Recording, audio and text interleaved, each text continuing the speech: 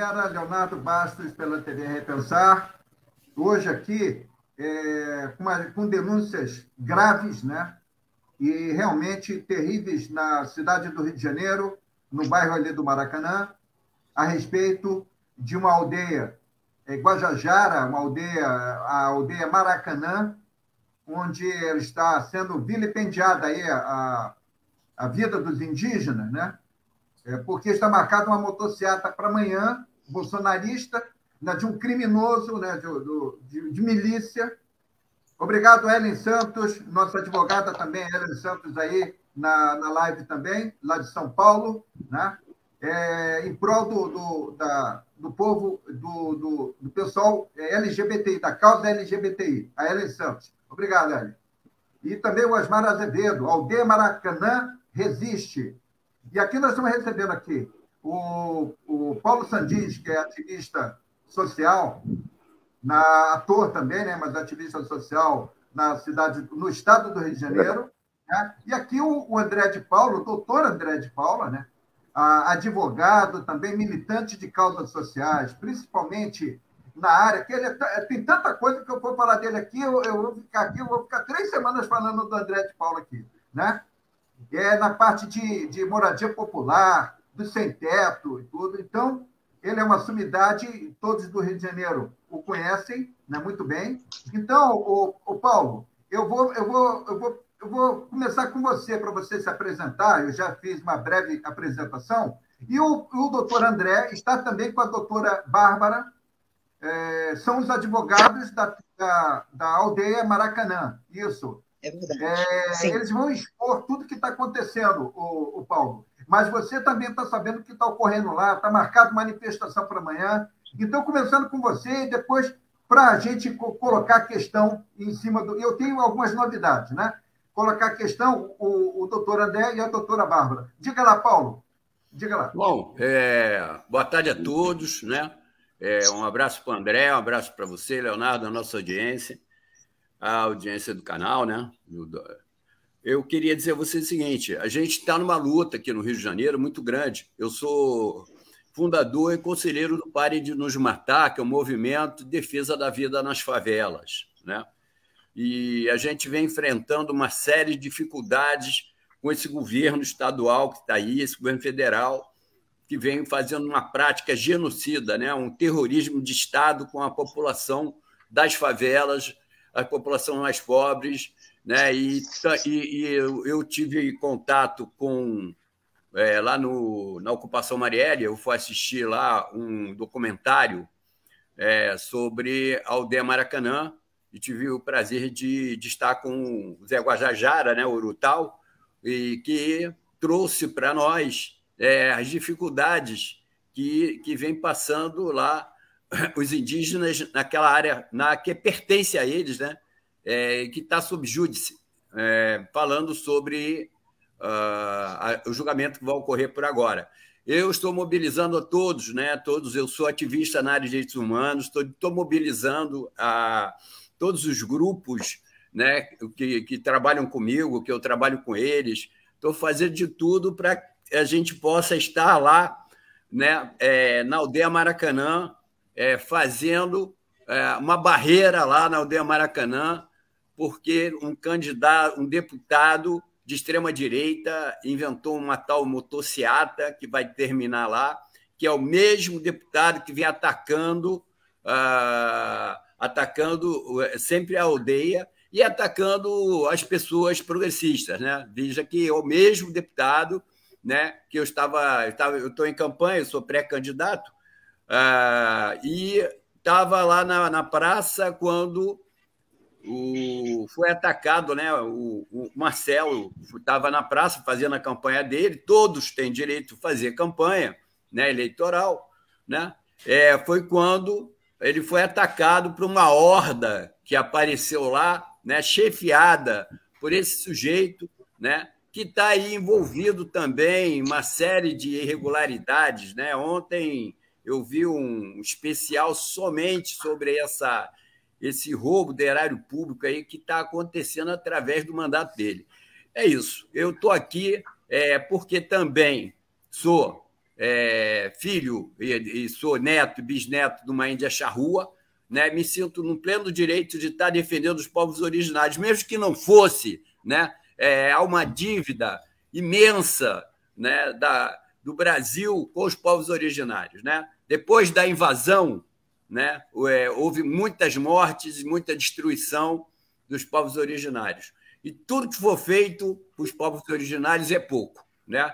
Então é isso. É, eu hoje eu coordeno uma campanha também e tenho um restaurante solidário, entrego hoje, a gente tem colocado aí 700 refeições na rua, né? a gente tem feito todo o trabalho de combate à fome e combate à violência que a gente pode.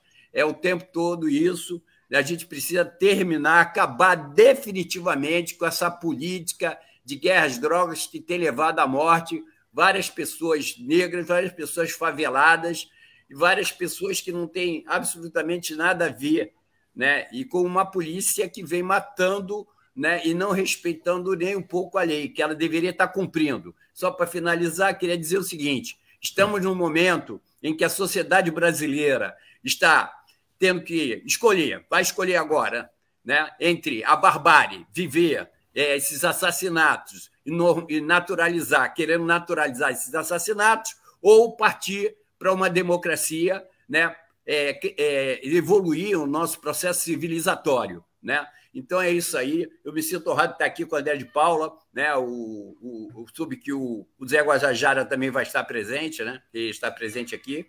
E é isso aí. Um abraço.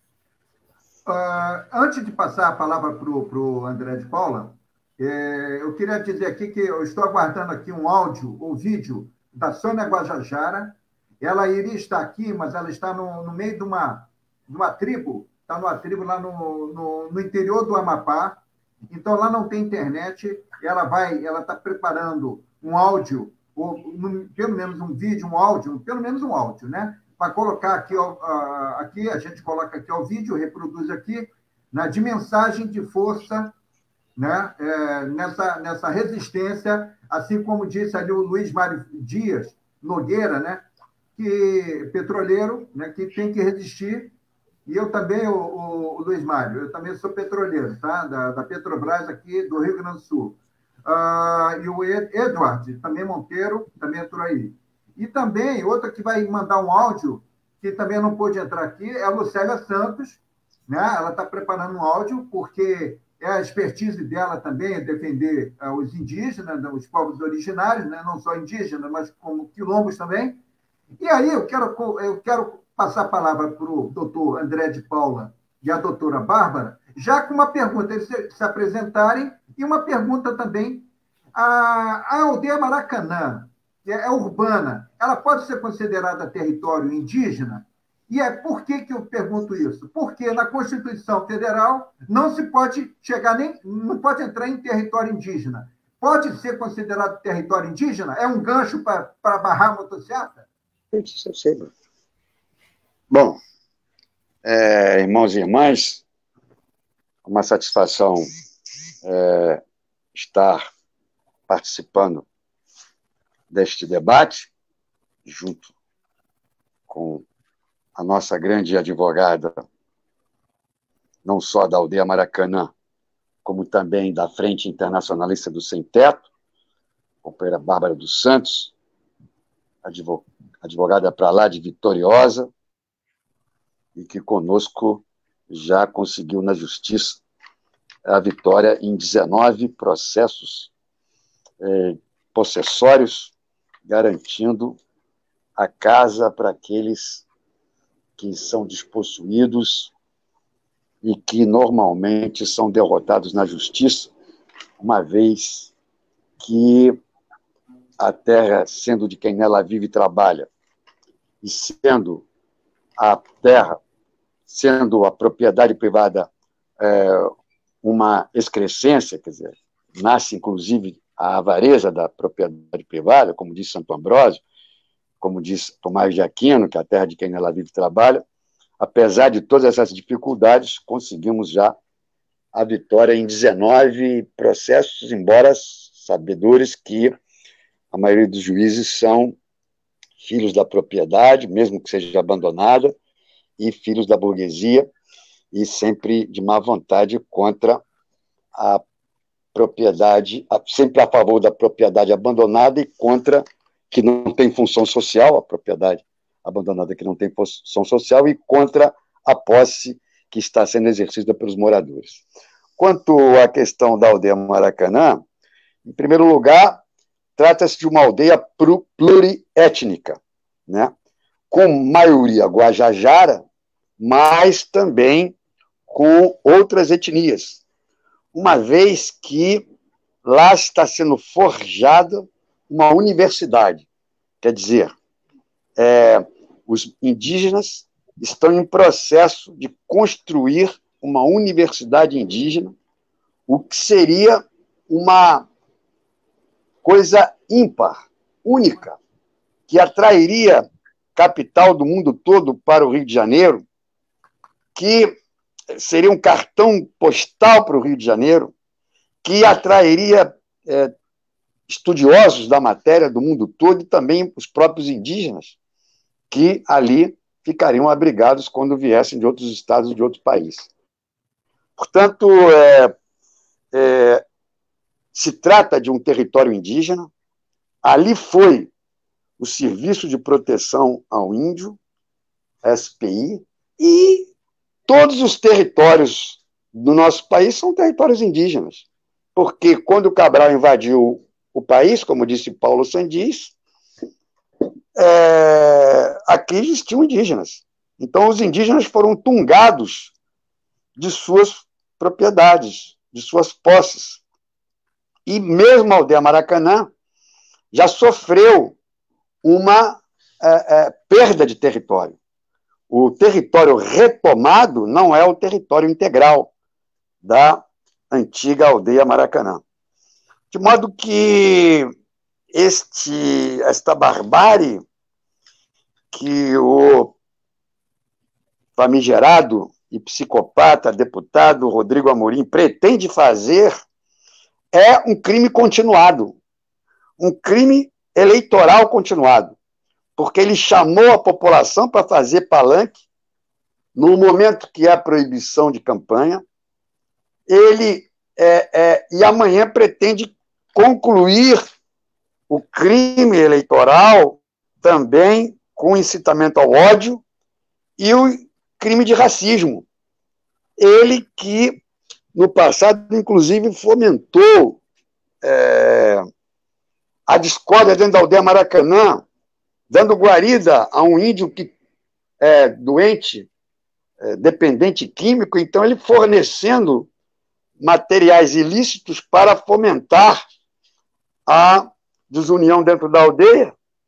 E graças a Deus que esse índio foi encaminhado ao tratamento e cessou aí a tentativa de minar a ocupação, minar a aldeia, minar a universidade por dentro e, de outras vezes, ele tentou entrar, foi barrado e amanhã chama uma malta, chama uma trupe, chama uma matilha para tentar invadir a aldeia Maracanã, mas não conseguirá. Não conseguirá. É, se depois quiserem entrar na questão jurídica mais detalhada, poderemos eu e Bárbara colocar, mas eu só quero dizer, para complementar inicialmente, que é, estão em risco também os advogados da aldeia Maracanã, que são é, é, o advogado indígena Arão Guajajara, eu e a companheira Bárbara, que também temos a ajuda do companheiro Eduardo Banks. Nós, o Arão da Providência teve uma peça de defesa remetida para a Polícia Federal. Quer dizer, uma é, tentativa de criminalização por parte do desembargador Alcides do, é, da defesa, tentando coagir, tentando amedrontar, tentando cercear a defesa é, da aldeia Maracanã, como Mussolini fazia né, nos tribunais fascistas. Nossa casa, minha e de Bárbara, nós sofremos atentado bolsomínio né, com o arremesso de coquetel molotov e a queima de nossa porta. Então, de modo que. É, e por que, que eu digo que é, é, é há uma. Parece que uma orquestra? Porque a própria OAB não nos defendeu, nem a mim, nem a Bárbara, e muito menos também ao Arão, lá não comparecendo na oitiva dele na, na Polícia Federal. Portanto, é, a questão tem desdobramentos e esse ataque é, não é uma coisa isolada por parte do senhor Rodrigo Amorim. Tem a conivência do Judiciário, tem a omissão da OAB e, evidentemente, que amanhã é, não deixaremos o senhor Amorim entrar na aldeia. Parece que, inclusive, sua cartada final de outra feita não conseguiu e agora vem com a matilha para tentar é, é, nos coagir e tentar entrar, mas não poderá entrar de maneira nenhuma e será barrado, não passarão. Então, de modo que é isso, e depois vamos entrar nas questões do processo propriamente dito. Olha, o, nós estamos aí com, a, com a, uma advogada lá da causa LGBTI lá de São Paulo, de São José dos Campos. Ela teve um irmão trans assassinado no Rio de Janeiro, assassinado em, se não me engano, em 2017. Aí a Ellen pode me confirmar. Né? Ela é da, da, é, da Associação de Defesa né, da, dos LGBTI lá de São José dos Campos, mas do Estado de São Paulo, e já esteve aqui na, na, na TV, e ela está, é, inclusive, Luísa Maranhão. Vamos lá. Não. Nós, ô. A Luísa Maranhão. Todos. Saudações. Então, para. É, eu estou aguardando aqui um áudio da, da Lucélia Santos e da Sônia Guajajara. Mas a... Ô, Leonardo, Fala, Leonardo, só antes da, da querida colega advogada Luísa Maranhão, que funciona, que sempre funcionou conosco desde 2013, nas jornadas contra o aumento das passagens, nas jornadas contra, enfim, contra a barbárie, é, nós somos advogados vitoriosos da Casa Nem. Conseguimos, através de ações jurídicas e políticas, manter é, a Casa Nem do lado do Castelinho, na rua Bento Lisboa, uma luta em que este advogado, a doutora Bárbara, eram os patronos da, da ocupação Casanem, onde funciona a ocupação inicialmente em Copacabana, depois uma negociação, e aí terminaram com a vitória na Rua Bento Lisboa, no Flamengo. Então, nós também estamos familiarizados e estamos somos advogados de todos os marginalizados, de sem teto, de companheiros negros, de LGBTs e de indígenas. Uhum.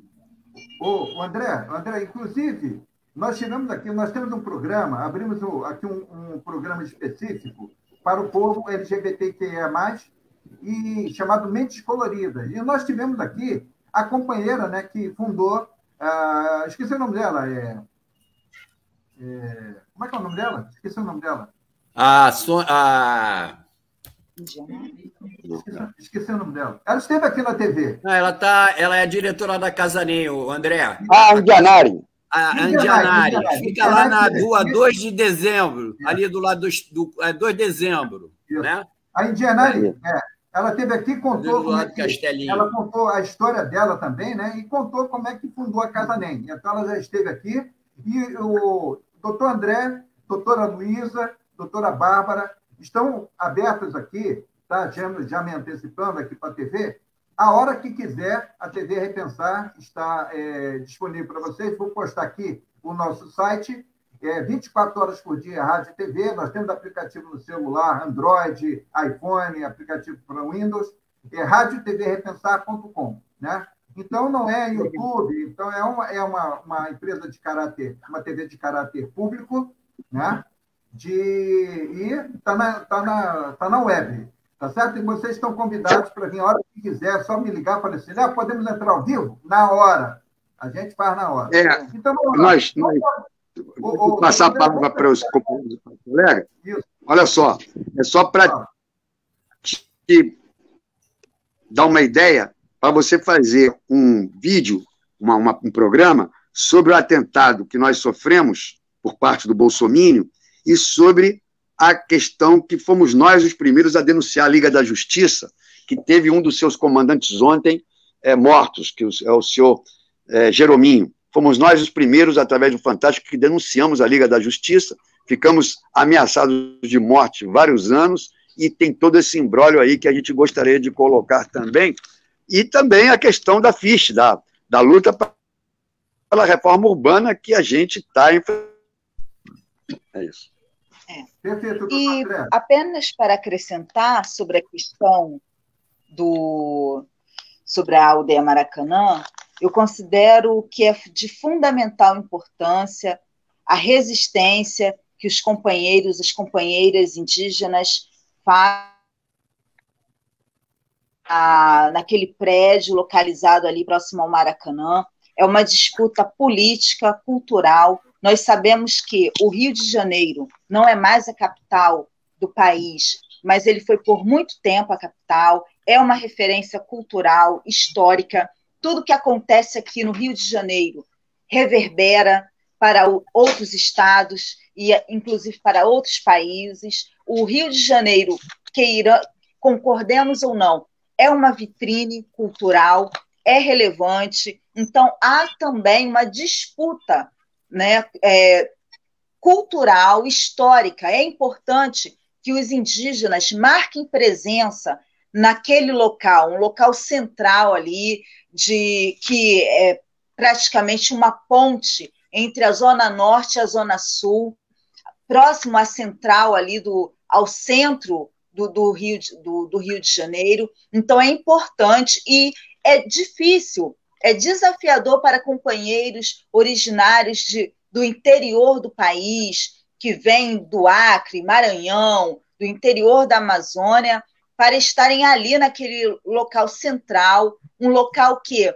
foi é, desmobilizado. Né? Nós sabemos que ali, por ocasião da Copa do Mundo, né, houve todo um desmantelamento, tudo que todos os equipamentos dali foram retirados. Então, para marcar a presença ali no local onde as instalações de água, é, instalações sanitárias e até de acomodação são muito precárias, então tem que ter muita fibra, tem que ter muita consciência do que se está fazendo, porque a, a cidade ela ainda é muito hostil né, para os povos originários, mas os povos originários sempre estiveram nas cidades. Eles podem até ser invisibilizados, mas eles estão, eles fazem parte da realidade, do cenário, né, da vida social, cultural do, da cidade do Rio de Janeiro. Ele nos enriquece. Basta vermos a, o, as indumentárias por ocasião do carnaval, quer dizer, o povo intuitivamente ele se veste, ele brinca, ele, ele se veste de índio, né? Porque nós temos realmente essa, essa, essa herança essa herança está em todos nós, ela nos perpassa. Então, negar a existência dessa cultura, isso é algo que, que vai contra a nossa essência. Então, é de suma importância que a cultura indígena, que faz parte da nossa história, da nossa herança, de tudo né, que, que esse país viveu, desde, o desde, desde aquilo que se chama descobrimento, é importante que tenha, que haja um local digno de visibilidade para essa cultura. Então, eu penso que é importante, sim, eu concordo com o André de Paula, que ali na aldeia Maracanã não se disputa apenas um espaço, mas um espaço importante, relevante, de visibilidade à altura da importância que a cultura indígena tem nesse país, na fundação desse país. Não, não podemos, e nós temos, é uma cultura importante.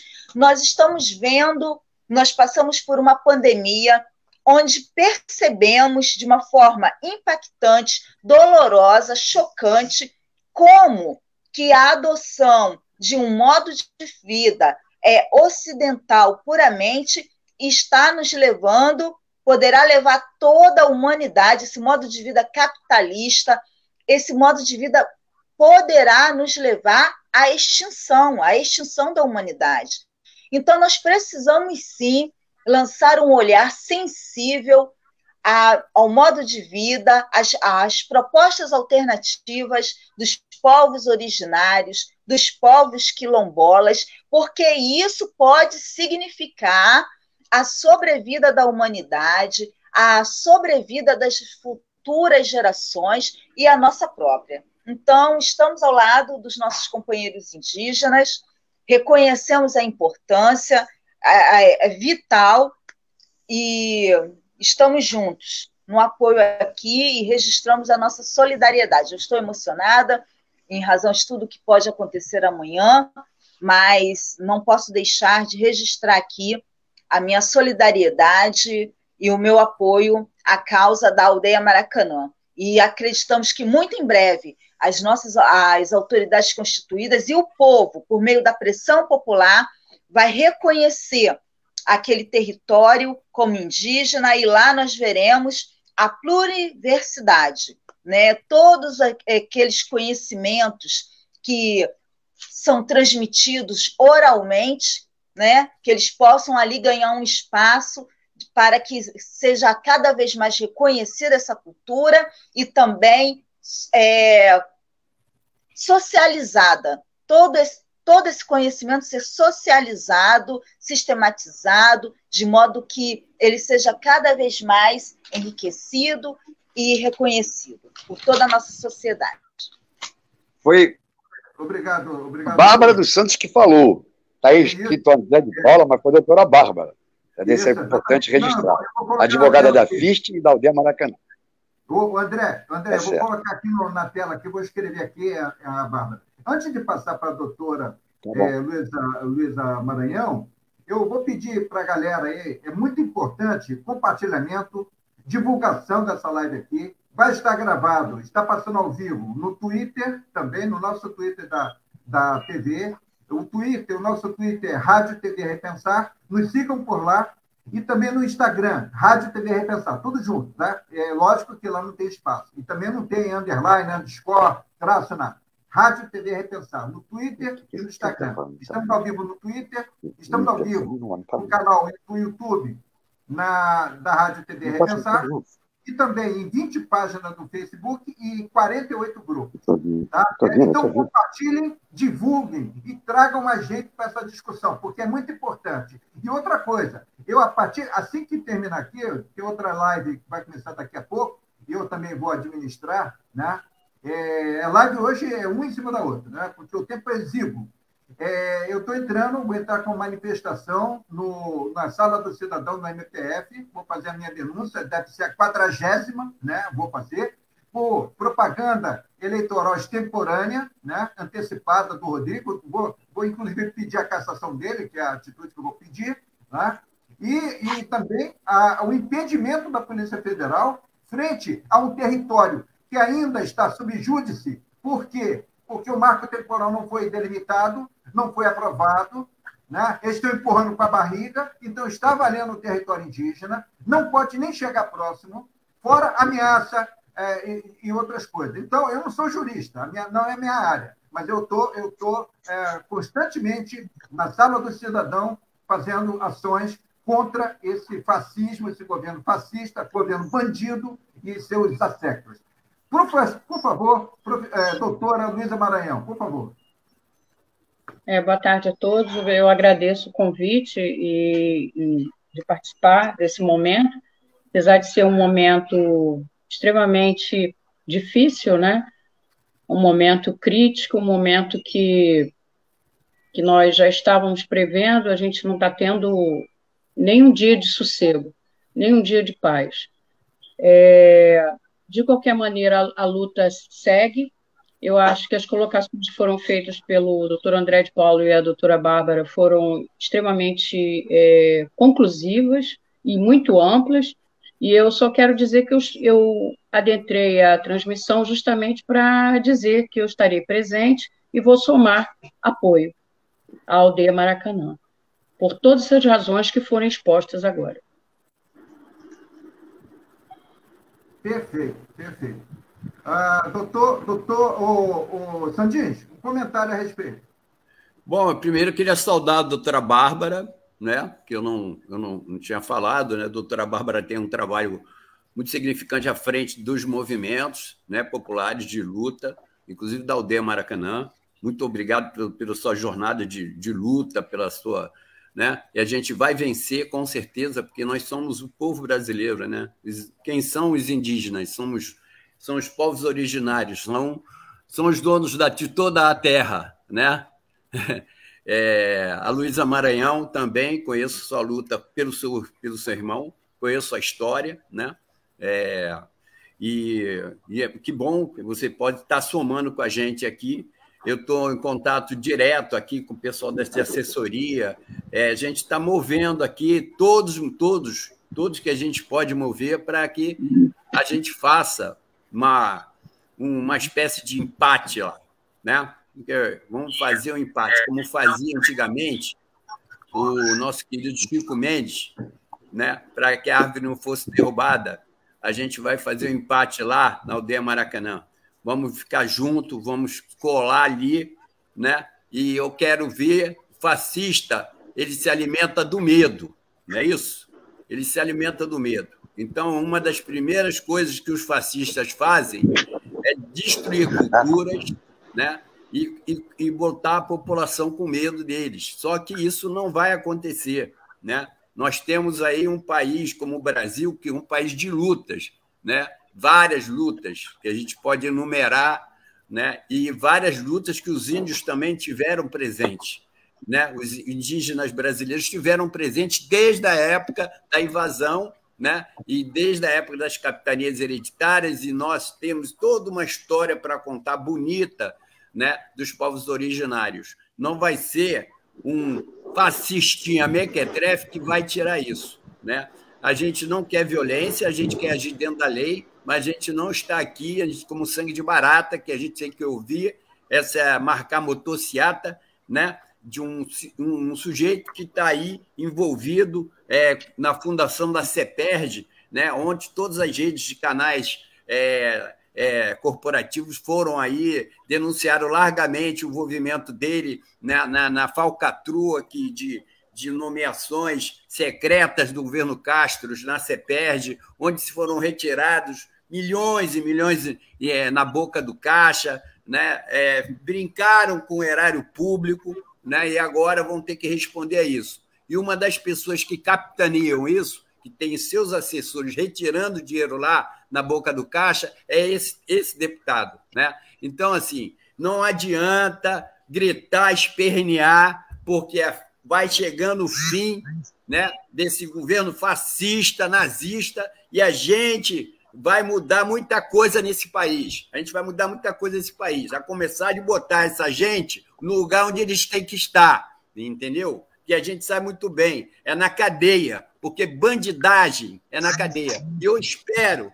que o TRE é, atue nesses casos, atue, como o André falou, né, uma propaganda antecipada né, dele, né, trazendo os holofotes para ele. Né? É tudo pensado assim. Ele não tem nada na cabeça, na cabeça daquele rapaz. Ele não tem nada na cabeça. Perguntar para ele o que, que ele é, ele nem sabe dizer. Mas ele tem uma coisa muito ruim, né? Muito ruim, que chega a cansar de ser ruim, né? Como dizia o Brecht, né? Pessoas ruins que fazem só coisas ruins e chegam a cansar de serem ruins, né? Porque o que que esse cidadão Ô, pode fazer, né? Nada, né? A não ser provocar, provocar, provocar o tempo todo. a gente vai calar. Sandinho, só um instante, só um instante, galera. É, chegou agora a mensagem, a Sônia pediu para ler uma carta, Sônia Guajajara pediu para ler uma carta dela né, a respeito disso. A Sônia Guajajara mandou agora. Sobre a mobilização dos parentes Guajajara da aldeia Maracanã. Em resposta à motocicleta convocada pelo deputado Rodrigo Amorim, PTB, Sônia Guajajara, candidata a deputada federal pelo Estado de São Paulo, do PSOL. Ela declara, aqui, é, exclusivo para a TV Repensar, mandou agora para mim. É um absurdo a hostilidade com que este esses setores é, mais retrógrados da sociedade, encabeçados pela ala bolsonarista e com anuência moral do governo atual, seguem nos perseguindo e nos atacando. As declarações violentas, violentas deste deputado são motivos mais que suficientes para a autoridade intervirem nessa convocação. Mas a certeza da impunidade, característica deste governo genocida, antidemocrático e anti-indígena, viram, viraram combustível contra nosso povo, dia após dia. Mas o Brasil é terra indígena. Assinado Sônia Guajajara. O companheiro Paulo Sandis, Leonardo, doutora Bárbara, Luísa Maranhão, na verdade, o governo Bolsonaro não é o governo nazista, é neonazista, é neofascista. Ele é pior do que os fascismos, nazismos tradicionais, porque ele é tão genocida quanto esses psicopatas dessas ideologias loucas, mas ele se difere porque ele é entreguista também. E o nazismo de Hitler, o fascismo de Mussolini, o integralismo de Plínio Salgado, o salazarismo e o franquismo eram nacionalistas. Quer dizer, isso ele chega a ser pior do que essas, essa barbárie que passou pelo mundo, né, capitaneada por Hitler e Mussolini. Quanto à questão da, do processo jurídico da aldeia, interessante é, é atentar para o primeiro fato. O desembargador Alcides Martins, relator do processo, é um ex-oficial de marinha e age como tal. Uma vez é, arguído sua é, tendência, sua suspeição, sua parcialidade no processo, foi enviou a, a, a peça para a Polícia Federal, né? como nos tribunais fascistas, né? Aí o, o para intimidar o advogado do Arão da Providência. O que é pior, que a OAB do Rio de Janeiro, a Evada, que é de bolsonaristas, lá não foi prestar a devida assistência ao advogado Arão, assim como também não tinha prestado a nós, quando tivemos o nosso prédio atacado, nosso apartamento atacado, não foi lá para a oitiva do Arão, sequer desagravou a ele e a nós. Quer dizer, a coisa é bárbara. E, e, e pensa bem, a competência até agora é da União. Né? Porque quem está presidindo o processo é a Justiça Federal, através do desembargador Alcides Martins. Só que o, o, a, a área foi vendida na base da corrupção e do pecado da União para o governo do Estado. Tanto é que a confusão é tamanha que a Justiça Federal mandou que o Estado seja reintegrado na posse. Diante disso, nós, dando uma de Miguel, arguímos essa competência. E o desembargador Martins remeteu para o Ministério Público opinar. Muito bem. Se o Ministério Público opinar de que a competência é do Estado, tudo que o desembargador Martins fez até agora e a Justiça Federal fez até agora, mandando o Estado ser reintegrado na posse, cai por terra. Se o reconhecerem que a competência. Porra, se reconhecerem que a competência é do.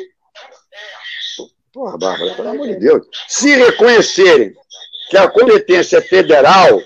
Espera aí que está dando uma microfonia aqui. Se reconhecerem que a competência é federal, por que é que o desembargador Martins mandou retirar a FUNAI dos autos? Basta assim, tá dando microfone aí. Não vou cortar o som de você. Fala, fala, André. Por, é, por que é que o desembargador Martins mandou a FUNAI ser sacada dos autos. Sair dos autos. Por quê? Se a competência é da Justiça Federal, se a, não, se a competência é federal, quem tem que opinar e demarcar é a FUNAI, não é a Justiça. Portanto, de qualquer maneira, está uh, um embrólio aí armado. Por, é, e a, a Polícia Federal, que é de facciosidade, enquanto oficial de marinha, pensando que agora está numa, numa caserna, quanto também a questão da competência. Se for estadual, porra, tudo que ele decidiu até agora está errado, é, é, é, anulado. Se for federal, é, é, não é a justiça que tem que decidir, é a FUNAI, porque quem decide sobre questões indígenas é a FUNAI, que ele mandou retirar do processo. De modo que, se ele continuar nessa, nesse tom, nós vamos suspeitá-lo e fazer uma representação no Conselho Nacional de Justiça. Fraude processual. Portanto, eu acho que, juridicamente, a questão está é, embolada. E por isso o desespero do Rodrigo Amorim, que disse que antes de terminar o seu mandado, que aquele lixo urbano seria retirado de lá. E não foi retirado. E não será retirado. Porque aquilo tem que ser ganho na lei ou na marra, porque a terra de quem nela vive e trabalha, como diz São Tomás, é da avareza, que nasce o direito de propriedade, como diz é, Santo Ambrósio, a propriedade é um roubo, e os indígenas sempre foram os donos desse país e muito mais naquele território a eles destinado enquanto serviço de proteção ao índio, mais tarde, Museu do Índio. É, estamos aí, está aí na, na no, no, YouTube, o Urutau, né? E o Zé Urutau, Urutau Guajajara, o pedagogo, né? É, lá da, o cacique da, da, da aldeia. O Urutau, você entrou pelo YouTube. Você tem que entrar pelo StreamYard. Aquele link do StreamYard. Esse é o, o link do YouTube. Venha para o link do StreamYard você entrar na sala. E aí, uh, eu vou colocar aí na tela também é, a carta da. que é para todo mundo, a carta da, da Sônia Guajajara, que mandou agora, né? Em relação a essa coisa aí é, absurda, né? Acontecendo aí. A foto aí, a foto, quem colocou a foto fui eu, é foto minha, né? É a foto que eu tenho aqui do Ricardo Hall, indigenista que foi expulso do Brasil. Como eu falo expulso? Porque ele, se ele não sai, ele ia morrer. Né? Ele ia ser o primeiro da vez, antes do Bruno. Como ele saiu do país foi para a Noruega, é, os indígenas da Noruega deram abrigo a ele, ele é muito amigo da Sônia. A Sônia articulou também né, com os povos indígenas para que ele fugisse, saísse do país. Ele entregou um dossiê no Senado em, 90, em agora em 2019 e foi se exilar na, na, na Noruega, é, a pedido lá, com convite dos indígenas de lá. Né? E depois, agora ele está na Itália, está numa outra briga, né? porque ele tem cidadania também italiana, ele está numa briga agora com, no Tribunal Penal Internacional, né? não, Tribunal Penal de, de Roma, é outra coisa, não é o Tribunal Internacional, não, Tribunal Penal de Roma, sobre a, a, a morte de italianos no Brasil com Covid. Então, de novo aqui, quem tiver algum, uh, algum conhecido, parente, que, que tenha, tenha tido familiares italianos, cidadania reconhecidamente italiana, e morreu de Covid, estão entrando na, na Itália. Está cortando, hein?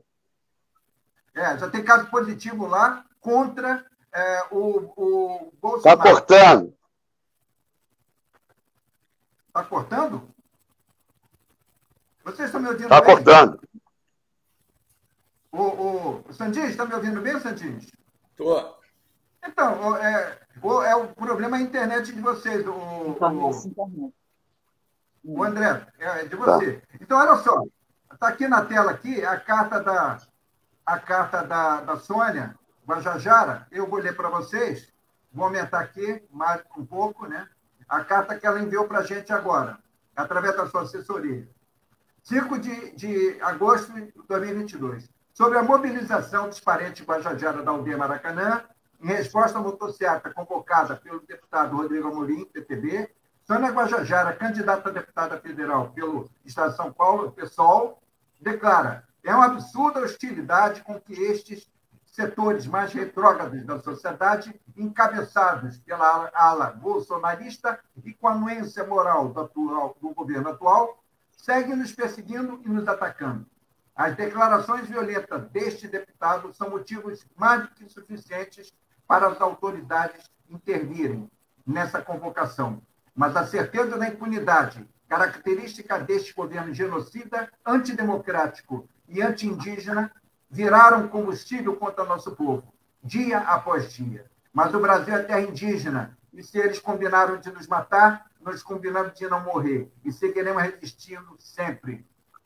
Assinado Sônia Guajajara, muito obrigado, e eu, queria aqui agradecer aqui a Sônia, e também o Urutal. Uh, alguém, o, o Sandis, manda o, o convite para o Urutal, o link, Perfeito, vou mandar. Eu, eu, só queria dizer, eu quero dizer duas coisas bem breve. Primeiro, que, que o André me corrigiu, certamente, são neonazistas, né? São aqueles que estão vendendo o país enrolado na bandeira brasileira e dizendo que são patriotas. São os primeiros a vender as riquezas nacionais, esses neonazistas, né?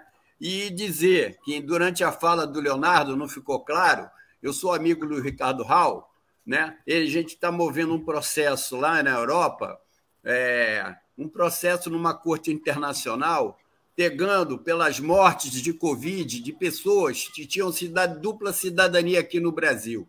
Pessoas que têm cidadania europeia, então a Corte Internacional está acatando, recebendo esse processo e vai julgar o processo contra crimes contra a humanidade desse Facínora que está aí sentado na cadeira de presidente da República. Tá? É isso que eu queria falar. Valeu. Vou passar aqui para mandar para ele, tá? Rapidinho. Falar? Pode falar, André. Não, é.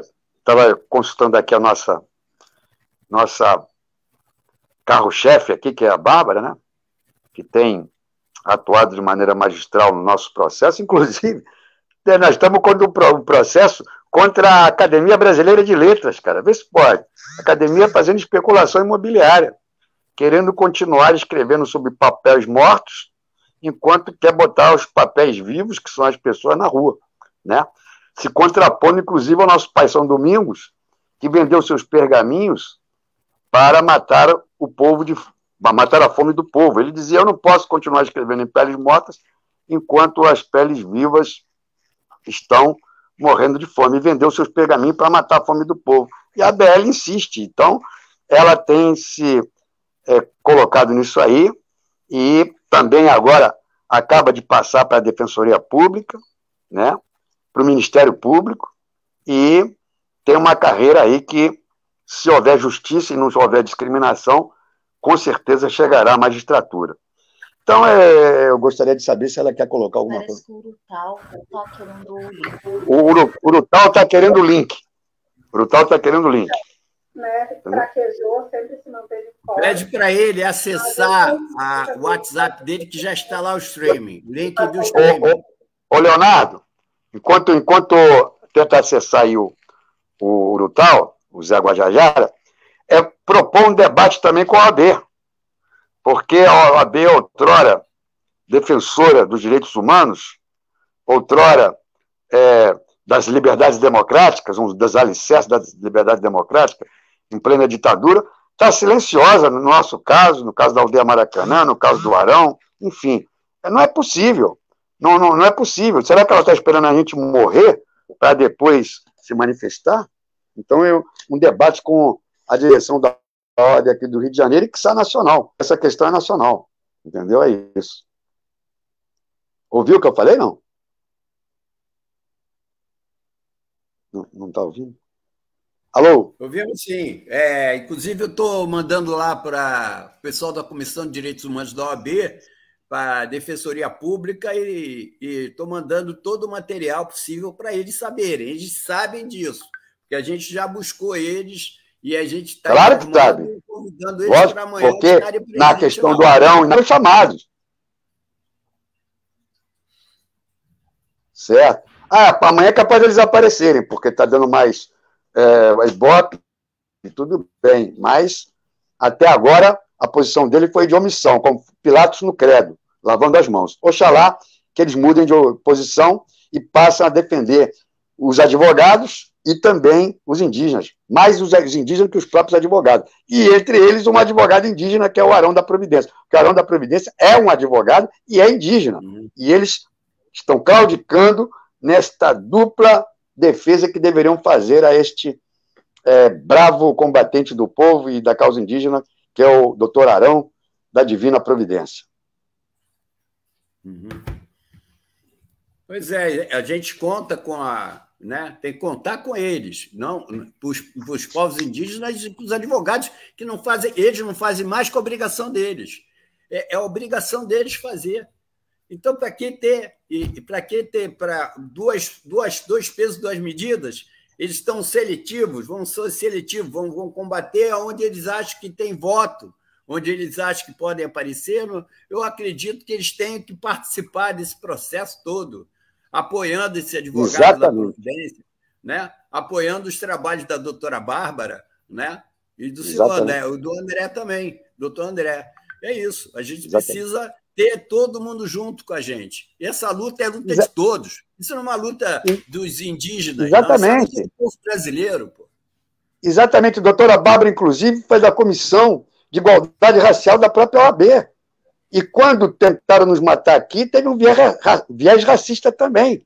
Porque essa classe média aqui que nós temos não tolera que uma negra venha morar na, na Zona Sul. Tem viés racista também, entendeu? E a OAB, pô, silenciosa, pô, isso é, um, para mim, um escândalo e um escárnio, entendeu? Eu fico irado com isso aí. Mas é isso, mas vamos em frente. Vamos, vamos na luta. É, caiu, tá o Urutau aí? Urutau? Ah, entrou. Tá sem som. Habilita o microfone. Habilita o microfone. É. Isso, ok. Tá, agora tá. Vamos lá. Pode falar. Sim.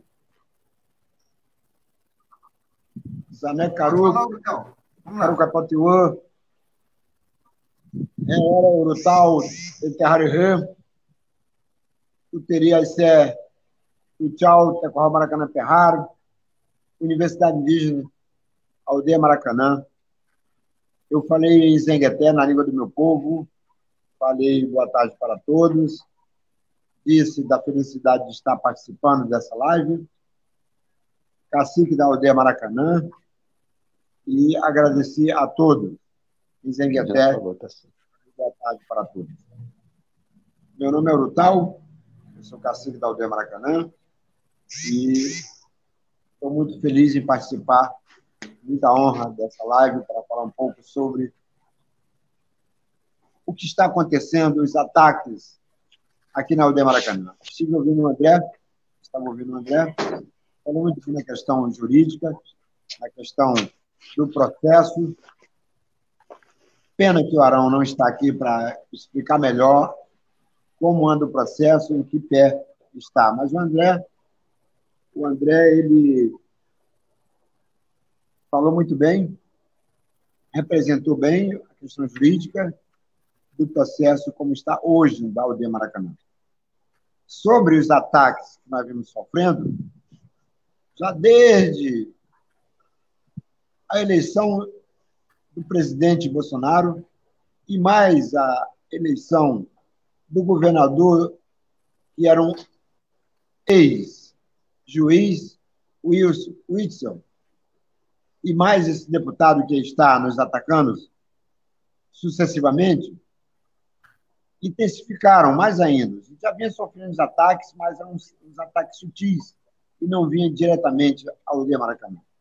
Com esse governo que está, os ataques passaram a ser sucessivos e diretos, com xingamentos, com ataques racistas, fascistas e incitação da população com o discurso de ódio. Esse discurso que tem que ser combatido, esse discurso, falei para esse deputado na penúltima vez que esteve aqui entrando na aldeia Maracanã ele tem imunidade. Eles têm imunidade, mas essa imunidade acaba. Essa imunidade vai acabar e eles têm que ser presos. Todos eles têm que ser presos. Porque ataca diretamente os direitos dos povos originários. Fere, com esses xingamentos, esses ataques racistas, os tratados internacionais e a Convenção 169 da OIT, Declaração Universal dos Povos Tribais e a Carta Magna do Brasil, a Constituição Federal. Oh, me permite. Vimos pregando isso. Ah. Orutal, me permite Sim. aqui pegar um gancho, me pegar um gancho, porque senão eu acabo esquecendo, é muita coisa, eu acabo me perdendo. Os doutores aí na, que estão na live aí, nós temos três advogados aí, né? É, não cabe uma preparar já uma ação para encaminhar mais uma denúncia na, na, na ONU. Eu tenho aqui os contatos da, da Comissão de Direitos Humanos Indígenas da ONU. Eu tenho aqui. Eu tenho comigo. Eu tenho, sim, dos 78, eu tenho dos 78 membros de Comissão de Direitos Humanos da ONU. Eu tenho os e-mails deles todos. Pelo menos os e-mails eu já faço bagunça, já faço barulho. Mas não cabe uma ação no, no, na ONU, mais uma, e eu vou alertar. Só no ano de 2019, 39 ações, 2019 só, de janeiro a dezembro, 39 ações contra o governo Bolsonaro na ONU, seja por indígena, contra jornalista, contra a democracia, tudo. Então, eu acho que cabe muito bem aí uma representação na ONU com mais esse fato. Esqueça aí, porque já tem lá genocídio indígena e outras coisas. Agora, mais esse, mais esse. Isso é crime crime internacional. E a gente, como o, Urutau falou, me desculpa, Urutau, eu tive que pegar esse gancho para a gente entrar com ação. Não, não cabe isso? Fala, Urutau. Cara, só uma coisinha aí. Caber, cabe. Agora, existe uma coisa mais urgente, que é todo mundo convocar o TRE para estar lá amanhã, para pegar no flagrante o crime eleitoral do deputado Rodrigo Amorim, e se o Bolsonaro também tiver lá, o crime é, eleitoral do presidente Bolsonaro. É, o TRE tem que ir lá amanhã, sob pena de desmoralização, porque o, o, o Rodrigo Amorim já cometeu o ato de incitamento e de racismo, e amanhã será coroado uma série de crimes com a propaganda extemporânea, o, o, o, que ele pretende fazer em frente à aldeia e ele pretende invadir, mas isso vai ficar só no devaneio dele, porque ele não vai invadir, não vai conseguir. Mas, de qualquer maneira, o TRE tem que ser convocado para estar lá para é, é, configurar o crime, mais um crime do senhor Amorim. É isso.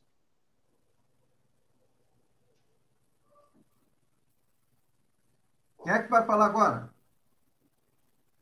Eu estou com a assessoria Brutal. da Guajajara aqui, estou começando com a assessoria é, da Sônia Guajajara. Está é, ouvindo? Estão falando ouvindo? aí. Brutal, né? Fala. Vocês estão me ouvindo? Estão me ouvindo? Sim. sim. Oi, oi, oi. Vocês estão me ouvindo, André? Vocês estão me ouvindo? Estou ouvindo bem. Pode falar. Tá. Tá. É... Quanto ao TRE, que o André falou, eu queria pedir encarecidamente que alguém encaminhasse. Próprio André de Paula poderia fazer isso, porque eu não sei como chegar a eles. Eu não tenho acesso, nem sei como encaminhar. Podemos ver junto, André, como, poder, como poderíamos fazer isso hoje ainda, para que chegue Sim. a eles e julgue mais um crime de muitos, muitos, muitos outros desse criminoso que já entrou armado aqui com a sua quadrilha, mais de 15 capangas armados na aldeia Maracanã.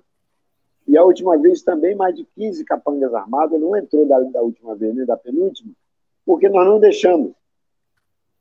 Então é, o, é a total impunidade dos órgãos competentes e ele, bem como aquele careca que já, também já foi preso, ele caga e anda para o para o judiciário, ele caga e anda para o Supremo, chacoteando o Supremo o tempo todo.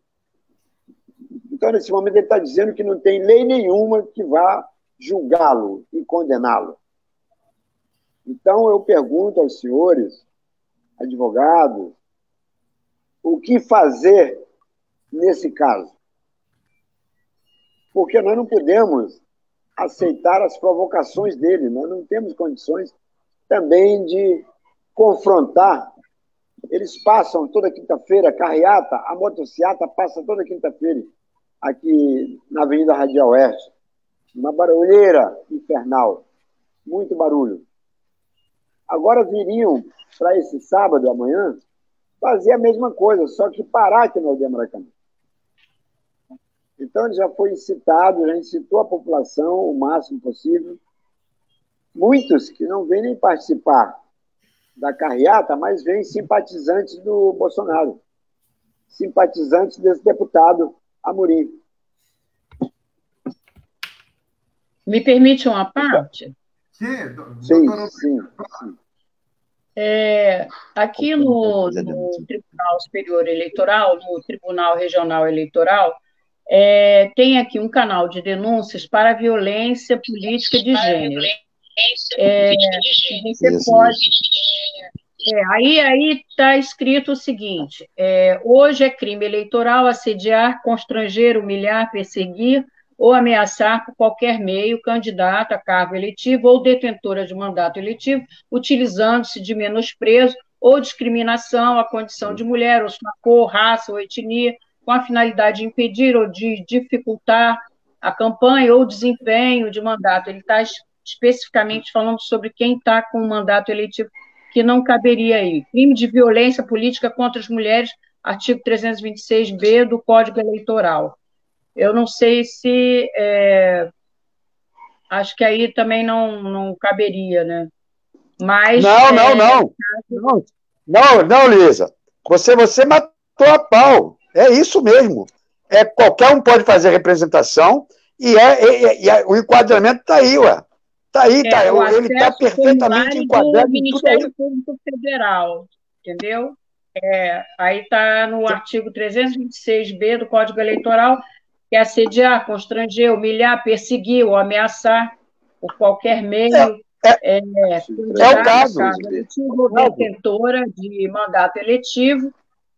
É, nós estamos no período eleitoral já, né? Então. Exatamente. É, é, utilizando-se de menosprezo ou discriminação à condição de mulher, ou a sua cor, raça ou etnia, com a finalidade Exatamente, de impedir, é caso. dificultar sua campanha eleitoral, o desempenho de seu mandato, crime de violência política contra as mulheres, artigo 326b do Código Eleitoral. Aí, é, é aqui é um formulário do Ministério Público Federal, que está no TRE. Olha só, eu proponho, eu proponho, eu proponho que a doutora Luísa Maranhão faça isso, embora não há necessidade de que seja advogado, mas muito melhor que seja, que a doutora Luísa Maranhão faça isso, porque ele está enquadrado nos dois. Enquanto parlamentar, ele está incitando ódio e fazendo uma série de, de, de, de exorbitâncias Ameaça. e crimes, Ameaça. e enquanto candidato também, porque ele é pré-candidato, e está fazendo uma campanha eleitoral extemporânea. Então, a denúncia é por aí. Você, a Rita assina, o Lutal assina, todo mundo assina. Entendeu? É isso. O, também a direção do, do programa é, Rádio e TV repensar. Quanto mais gente fizer essa denúncia, melhor. É, é só é entrar no Tribunal Regional Eleitoral e é, sala de atendimento ao cidadão, pessoa física. É isso. Entendeu? É aí você aí. preenche, entendeu? E, é e fazer em, em é, a denúncia em desfavor desse senhor, né? Do Rodrigo Amorim. Exatamente. É. É isso aí. Tá? Bom, eu Sim, vou encaminhar por isso, aqui, então. pelo meu e-mail, tá? Tá, por favor. Por favor. Ok. E, e, eu peço licença aos senhores e às senhoras, agradeço a participação e amanhã estarei lá. Eu gostaria de me. Eu preciso Sim, me retirar. Eu, eu gostaria, me, me permite, é, eu gostaria de, de repente, eu vou tentar, eu não sei se eu vou, se eu vou conseguir fazer uma, uma peça legal, né? Para poder entrar na, na, sala do cidadão eu vou fazer uma, uma peça genérica e eu vou repassar para todo mundo, falar assim, olha, entre na sala do cidadão e coloque isso aqui, faça a denúncia. A mesma coisa, é Ctrl-C, Ctrl-V. Se, a, se aquela, aquela, aquela juíza lá do Paraná, ela pode fazer Ctrl-C, Ctrl-V, por que, que eu não posso? Eu vou fazer Ctrl-C, Ctrl-V. Se vocês puderem, três advogados, se vocês puderem preparar uma, uma peça genérica do, do, dos crimes cometidos amanhã, eu mobilizo umas mil denúncias no MPF na sala do cidadão. É, é, é, eu acho boa a sugestão. Entupir os servidores de... Eu acho boa. A doutora Bárbara a doutora Bárbara, e me parece também, não sei, a doutora Luísa Maranhão se comprometem a fazer isso. Faremos. Entendeu? Não, a doutora Bárbara está se comprometendo, não sei se o Luísa também. Okay. E eu me, eu me comprometo a divulgar, eu vou divulgar, o meu alcance da TV Repensar chega de 3 milhões, mínimo, a 7 milhões de pessoas no Facebook. É o que a gente compartilha. Eu sou administrador tá de 64 grupos do, de petistas e tenho é, e sou moderador em 44. Fora nossa TV, fora Twitter, fora Instagram, então eu alcanço até 7 milhões de pessoas. Tá, beleza. todo mundo. E eu falo assim: olha, gente, copia aí, Ctrl C, Ctrl V. E mande todo mundo, é igualzinho. Só vai, só vai mudar o seu nome. Eu não vou botar o meu nome. Aí tá lá, excelentíssimos procuradores do MPF é, vimos por meio desta é, solicitar impedimento da motocicleta, crime eleitoral, etc., crime comum e tudo mais. É isso aí, eu acho que é assim que a gente mobiliza. É resistência dessa forma. É Ctrl-C, Ctrl-V. Por favor. Eu, Leonardo, copia e cola também, tá certo? Eu aprendi com o Moro, eu aprendi com o Moro e a Gabriela Hart, lá no Paraná. Também uma coisa.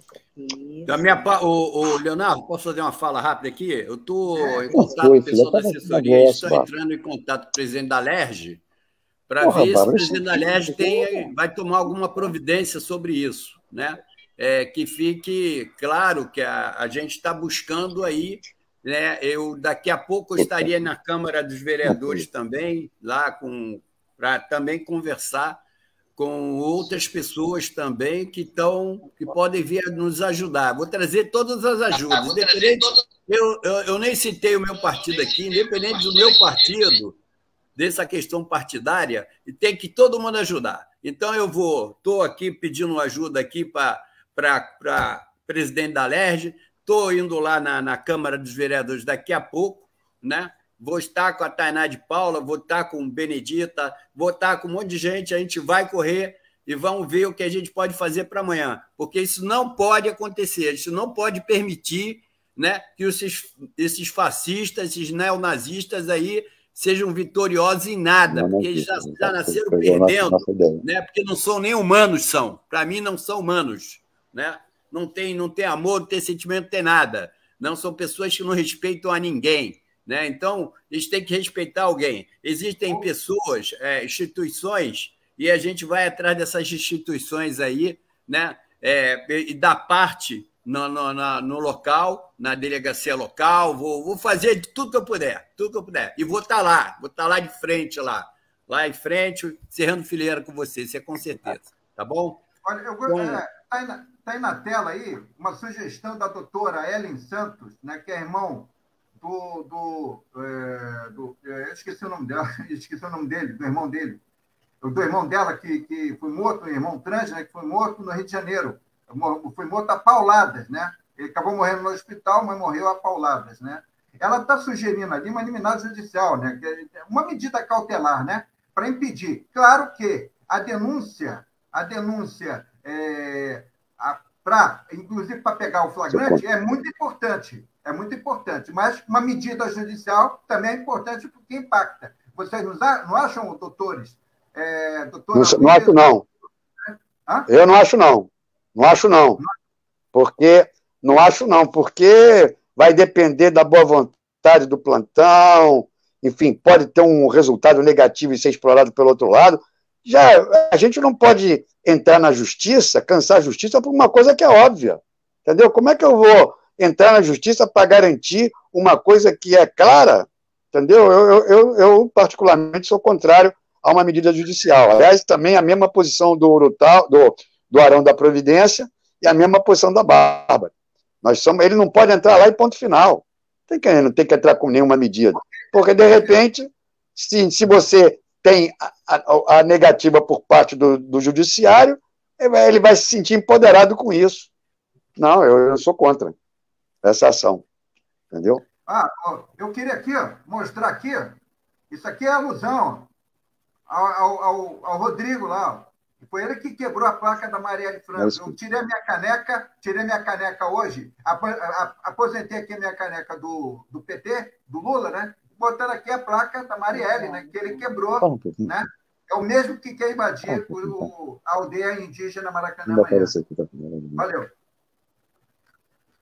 Show. Alguém mais? Vamos lá. O que, que vocês acham? É, a gente mobiliza. É, a gente país está entrando agora. Tem que cortar o som aí. Está dando microfonia. Tá. É, o Adair Rocha, tá também, microfonia. o Conselho de Ética do PT de Sapucaia, acabou de entrar aí também, o Adair. Adair, você pode me dizer se foi repassado para os grupos indígenas? Você conseguiu repassar para todo mundo? E para quem que você com quem que você contatou dos indígenas, nos grupos daí? Coloca aí no, no chat aí para eu colocar no ar. Então tá. Ah, desculpa, eu, eu ia, o, o, o eu. eu ia falar, eu ia falar Serginho. Carlinhos, Leonardo. Serginho, Leonardo. Fala. Fala. Leonardo, seria muito importante contactar o Conselho Indigenista Missionário, o CINE que na ditadura militar é, conseguiu redimir a igreja no que tange à defesa dos índios. Outrora a igreja contribuiu com o extermínio indígena, mas o Conselho Indigenista Missionário CIMI foi um dos, uma das resistências ao massacre que os indígenas sofreram na ditadura. Foram exterminados 8.500 indígenas na ditadura militar. Mas não, se. Não, não, não. se não, não, eu vou, eu vou te corrigir, doutor. É, eu tenho acompanhado isso. Eu tenho uma ONG que tem o nome indígena, ONG Tongui. Em 1967, aqui para todo. Vocês podem procurar na internet. Relatório Figueiredo. Relatório Figueiredo. 60 pois mil. É. 60 hein? mil indígenas. 60 mil. Só no, pois ano, é.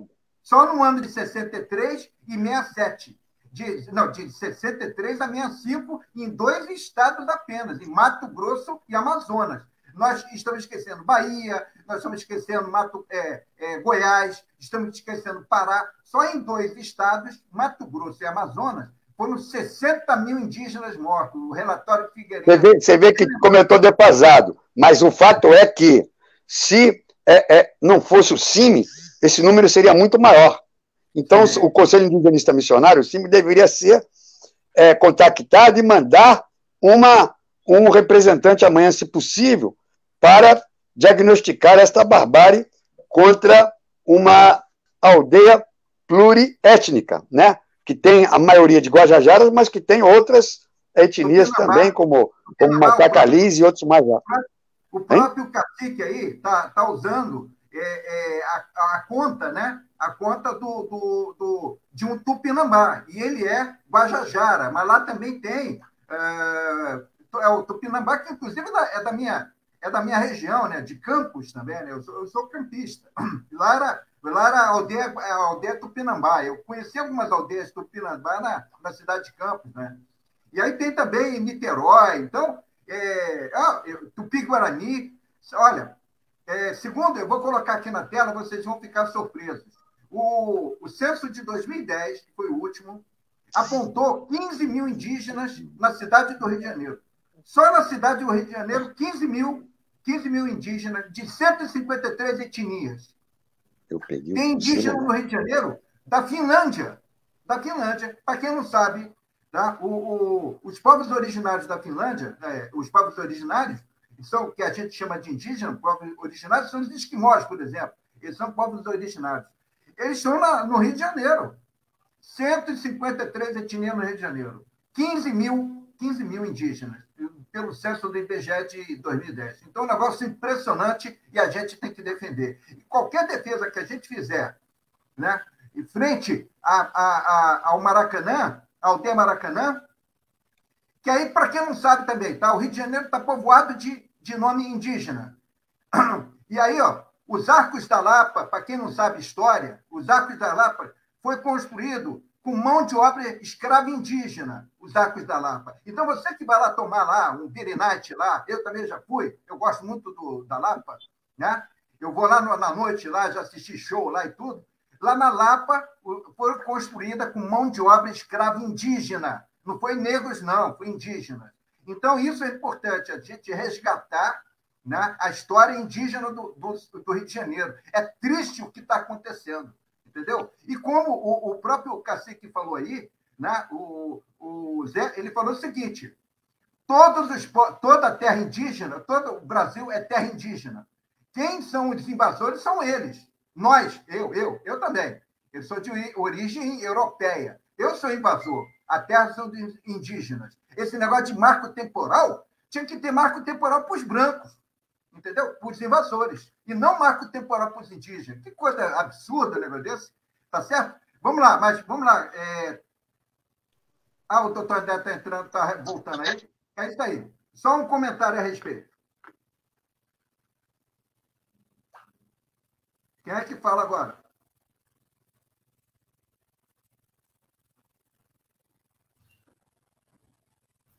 Queria pedir ao, ao, ao, ao Urutau que que falasse um pouco Bom, mais e, e, e né, fala, interagisse mais, porque ele tem muita coisa boa para falar da, dali, né? Você ia te pedir. Falou, Urutão.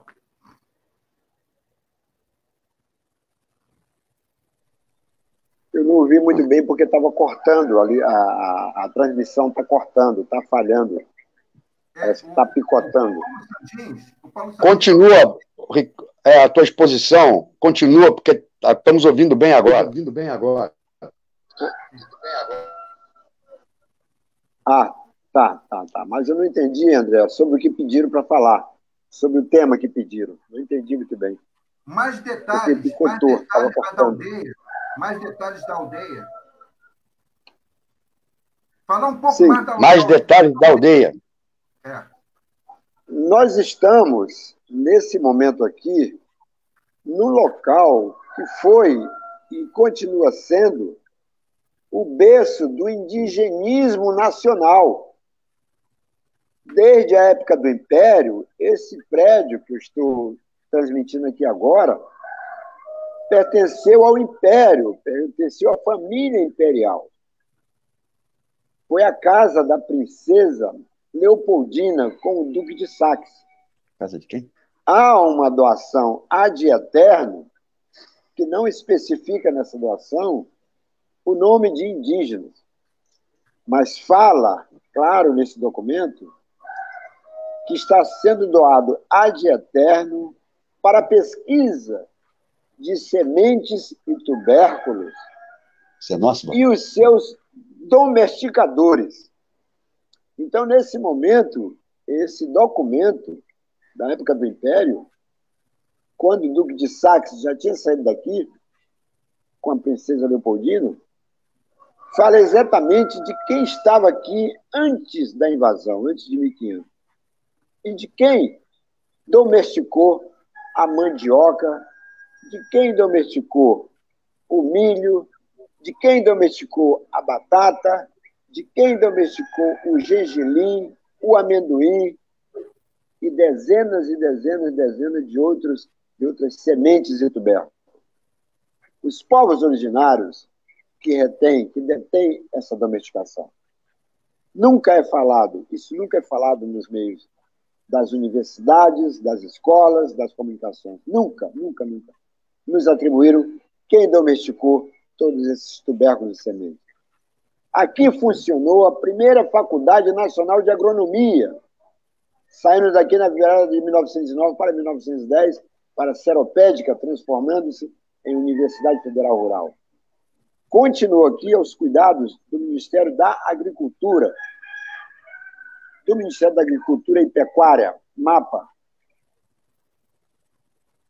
E aí, virando 1909 para 1910, João Conde Cândido da Silva Rondon o Marechal Rondon, inaugura aqui a primeira sede do SPI, uma sigla bem grande, porque nós éramos considerados ainda pequenos agricultores naquela época.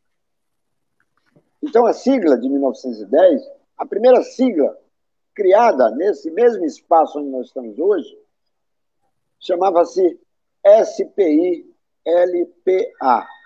Serviço de Proteção ao Índio e Localização de Pequenos Agricultores neste mesmo espaço onde nós estamos hoje. Duque de Sax, Universidade. Daqui saíram todas as expedições. Daqui saíram todas as expedições. É, é, Otira, vê um carregadorzinho, fala por Sóstenes.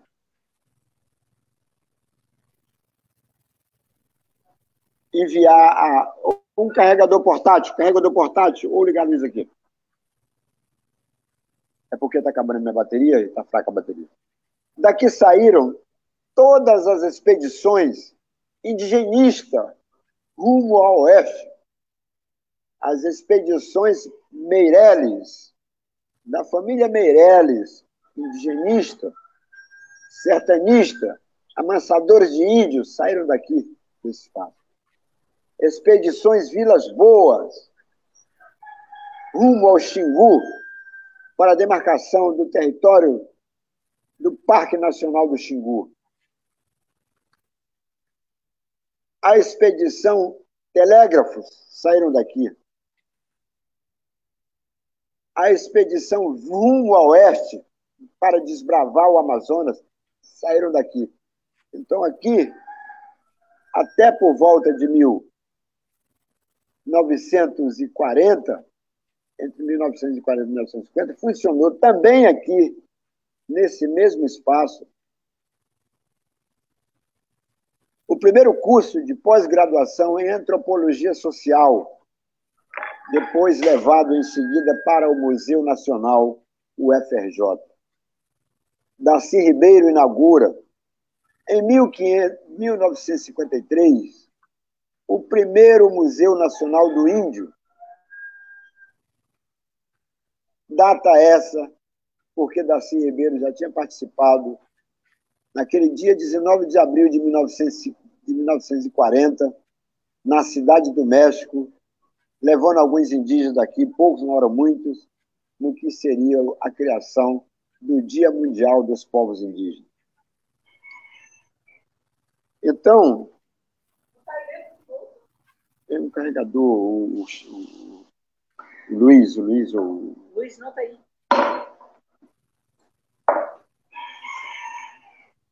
Na virada, as denúncias, a partir de 1953, do genocídio dos povos originários, ainda aos cuidados do Serviço de Proteção ao Índio,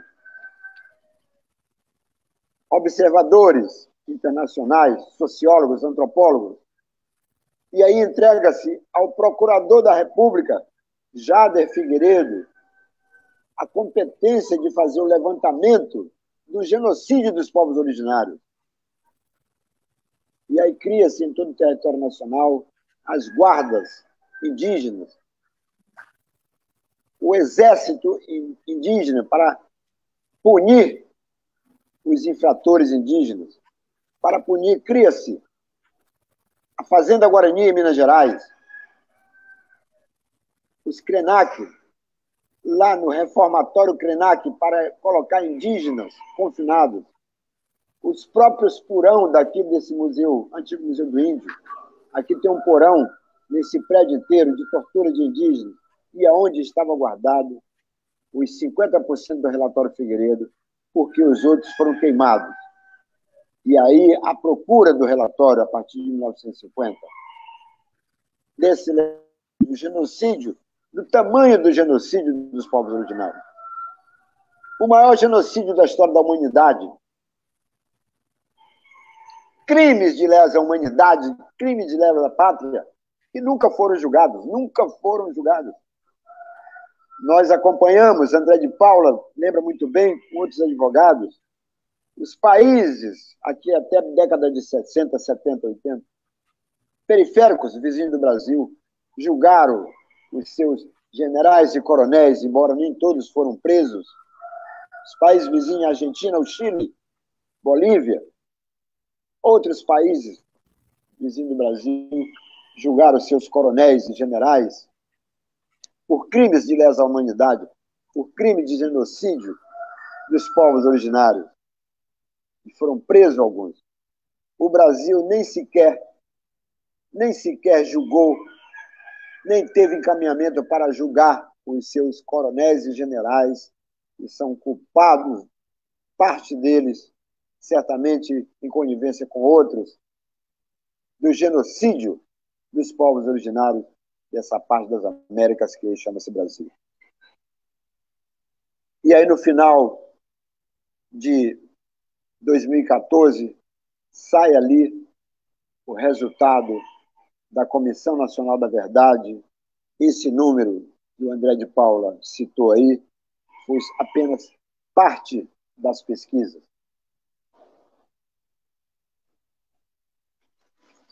O doutor citou esse número, 60 mil indígenas assassinados e os 8.350 do relatório da Comissão Nacional da Verdade, no final de 2014, que saiu. E esse número, segundo alguns especialistas, é monstruosamente maior do que apenas aquelas 10 etnias pesquisadas e as outras 200 foram pesquisadas. 295 etnias que não foram cadastradas para ser, fazer levantamento. Dos 305 povos de todo o território nacional, apenas 10 etnias foram feito o levantamento. Aquelas que tinham crimes de lesa humanidade, barbárie, com agente laranja, com envenenamento dos rios, envenenamento de açúcar, envenenamento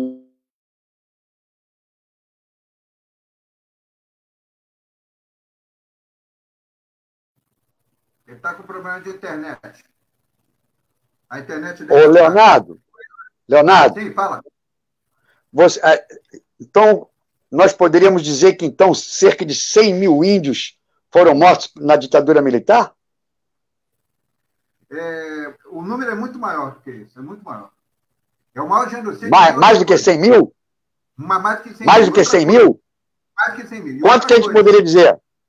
Quantos? Não, Quanto, então, mas... O, relatório, o relatório Figueiredo chegou à conclusão que só em dois estados foram 60 mil mortos. E aí. Tá bom, mas o total?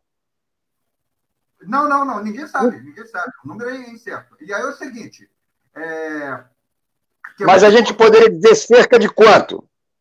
Ah, Aproximadamente. Não, ninguém sabe. 100 mil. 100 mil. E aí é o seguinte, doutor, tem uma, tem uma comissão aberta dentro do Ministério Público Federal. Tá? O próprio relatório Figueiredo fala nesses números, não é isso? Sim, não, não. O relatório Figueiredo só fala 60 mil. Hein? 60 mil. 60 mil. Não está dando para ouvir. É. O 60 próprio relatório Figueiredo fala em cerca de 60 a 100 mil, não é isso? 60 mil só. 60, 60 mil. E aí eu tá cortando. Deixa eu repetir. Deixa eu repetir. Ah, tá tem uma equipe. Só um instantinho, doutor. Tem uma equipe tá. dentro do Ministério Público Federal, chamada Equipe 6. A equipe 6 do Ministério Público está com o relatório Figueiredo, levantando o relatório Figueiredo. A coisa está aberta. Por quê? Genocídio desse tipo, como foi determinado pela CPI lá na, na CPI em 1967, ele não prescreve. Tá? Esse aí é o nome aí, é o, é o, é o procurador Jader de Figueiredo, tá? que abriu o. que foi o, o presidente da CPI. Então, está ah, aberto. Ele, ele, inclusive, ele, inclusive, morreu em circunstâncias misteriosas, provavelmente assassinado. Provavelmente. Então, Provavelmente. Ah, aí, ó, eles faziam experiência com indígenas, eles inoculavam doenças para matar os indígenas. jogavam granadas de helicóptero nas aldeias para exterminar os indígenas. Olha aí, olha a figura aí. Então, isso aí são, são fotos reais do relatório Figueiredo. Isso aí está no YouTube. Vocês podem colocar lá no YouTube, tem, vocês vão encontrar dezenas e dezenas de filmes. Tá aí o Urutau voltando aí de novo. Ah, tá sim, sim. Tá, então, Urutau, tá aí o relatório Figueiredo aí. Eu tô, eu, eu tô cortando. Tá, deixa eu habilitar o som aqui. Digitalizado. Tá, fala aí. Foi digitalizado através da Comissão Nacional da Verdade, o Zelito, outros é, sociólogos, pesquisadores vindo de São Paulo e Tortura Nunca Mais, outras organizações, é, 7 mil páginas, o que corresponde aí a 50% do, de todo o relatório. E o restante desse relatório foi queimado lá em Brasília, queimado parte agora no Museu Nacional, no último, no último 2 de setembro de 2018, era um domingo, e levado outra parte para o Museu do Índio de Botafogo e ali dado fim nesse total desse relatório. Então são crimes gritantes, são genocídio, crimes de lesa humanidade, crimes de lesa pátria. E dizer esse esses deputados que nos atacam, esses, esses políticos que nos atacam, gestores que nos atacam descaradamente, dizer que o espaço onde nós estamos, Universidade Indígena, Aldeia Maracanã, não tem memória, dizer isso é muito fácil apagar nossa memória. É muito fácil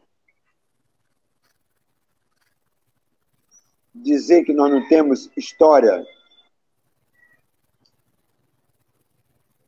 é descarado o que dizem sobre esse espaço que foi o berço do indigenismo nacional. O berço do, do, do, daqui saiu pesquisadores, saíram antropólogos, saíram é, estudantes para pesquisar em todo o território nacional a questão indígena a nível nacional. Então, nós estamos aqui, além de tudo isso aí, defendendo um espaço que é um espaço dos nossos rituais, um espaço espiritual. Estamos também, além de todas as as destinação, também dando esse espaço uma destinação espiritual, porque nós mantemos aqui os nossos rituais sagrados, como consta na Constituição, e nós mantemos aqui o que, o que diz o artigo 231 e 232, a nossa religiosidade, costumes e tradições, como qualquer um outro território nacional. Ô, galera que está assistindo a TV, Sem mil. É, pessoal que está assistindo aí, vocês estão vendo aí é, um filme, um documentário sobre o relatório Figueiredo. Vou repetir para ser redundante aqui, porque é muito importante. É, que concluiu no ano de 1967, eu tinha sete anos de idade. 60 mil é, indígenas foram mortos, tinha serviços, trabalho escravo, prostituição de índias e etc.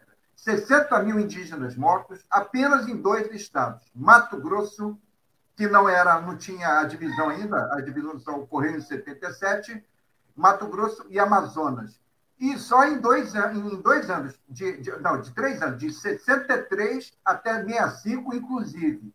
Então, o número é muito maior, é incalculável, incalculável. Não dá para a gente imaginar quantos indígenas foram mortos é, no Brasil. E esse relatório Figueiredo, ele não prescreve, não prescreve. Ali ele aponta, como o cacique falou aí agora, o Urutau, o cacique da aldeia Maracanã, são mais de 7 mil páginas. E nós temos que lembrar que os indígenas chegaram aqui primeiro, através, através do estreito de Bering, há mais de 40 mil anos atrás, vindo do Oriente, do Oriente é, até da Índia, China e tudo, por isso que eles têm até a característica de olho puxadinho, eles atravessaram o Estreito de Bering lá, no, lá na, na, na América do, do, do, Norte, há 40 mil anos atrás, porque o Estreito de Bering ele é, muito, é muito raso, ele tem 90 metros de profundidade. Congelou. Através do congelamento, eles puderam passar e vieram colonizando as Américas, vieram descendo e colonizaram o Brasil. Então, e toda a América, né? Então, eles estão aqui há, há mais de 40 mil anos. A terra, a terra são dos indígenas e nós temos que ter respeito à história, à ciência né? e ter humanidade e civilidade. O que está sendo, que está ocorrendo no Rio de Janeiro, com motocicleta que o, o Bolsonaro já, já extrapolou todos os crimes possíveis, 141 é, pedidos de impeachment. E o impeachment não vai resolver, porque a gente, nós não temos 342 deputados para derrubar o Bolsonaro. E ele acaba se fortalecendo, porque mete o impeachment, a gente perde. Ele vai falar, viu lá? O povo está comigo. Então ninguém quer que eu seja que eu seja destituído. Não é assim. Nós vamos derrubar no voto. No voto, na, nas urnas, logo no primeiro turno. Tá? Dia 2 de outubro. Por favor, vocês têm que ter consciência. Vocês que pensam o contrário, né? que é o contrário da civilidade, trazendo ódio, rancor né? e desamor, vocês têm que botar a mão na consciência, porque dia 2 de outubro, ou você toma atitude, ou vai ficar marcado para a tua alma. A tua alma. Tá? Você tem uma alma do, do diabo. Ou você toma atitude agora, ou nunca mais você vai se, se manter em pé, porque você realmente está baixo. Então, isso aí é o relatório Figueiredo. É triste a gente ter que falar tudo isso, mas vou te contar um negócio. É um negócio lamentável o que está acontecendo no Brasil. E não é no Rio de Janeiro, não. Eu, eu, tenho, eu tenho que lembrar, há 15 dias atrás, nós fizemos uma live aqui, os policiais militares mataram um indígena de 41 anos no interior do, do, do, de Pernambuco, a pauladas, na frente da família. Na, na frente da família, gente. Sabe por quê? Ele, ele foi morto a pauladas, encontraram uma espingarda e os policiais queriam que ele confessasse. A espingarda sua? Não, a espingarda não é minha. Paulada nele. A espingarda é muito te é terrível isso, é terrível isso. A gente tem que lutar muito para parar, acabar com essas situações. Leonardo, eu vou ter que sair, né? Estou com compromisso Valeu. agora. Gente, olha, eu, nós estamos eu, aqui. Léo, eu queria deixar aqui uma saudação para a TV Repensar, é, agradecer a TV Repensar por ter aberto esse espaço. É muito importante. A gente vai continuar trabalhando é, em função de amanhã, em função de sempre, né? É, em apoio a essas causas que são as causas das ocupações, das favelas, dos índios. Né? O André pode contar comigo, sempre Serrano Fileira, né? O Urutau. Urutau, você cantou uma canção naquele dia e após isso você falou: agora todos somos irmãos. Então, Urutau, está aqui no meu coração. Você é meu irmão, tá? Bárbara, doutora Bárbara, muito obrigado pelo seu trabalho. Saudação a todos, tá? Né? Que a luz divina ilumine todo mundo e a gente possa conseguir a nossa vitória, né? É, né? Ah, porque assim não tem, não tem ninguém melhor para ensinar o futuro do que os indígenas. Os indígenas são o nosso futuro. Sem eles não existe futuro. Não existe mato, não existe rio, não existe amor, não existe ah, esse afeto, né? Não existe várias coisas importantes da humanidade. Muito obrigado por estar aqui. Eu me sinto honradíssimo de estar aqui ao lado de vocês, tá? Muito obrigado. Ah, olha, o é, eu vou passar a palavra para o advogado, o doutor André. O, o Bárbara, está dando microfonia, você tem que cortar o som. Eu vou cortar o seu som. Fala pelo, pelo microfone do, do doutor André. Doutor André, suas considerações. É uma imensa satisfação de ter participado. Esperamos, estamos à disposição para participar de outras candentes problemáticas que envolvem o povo pobre.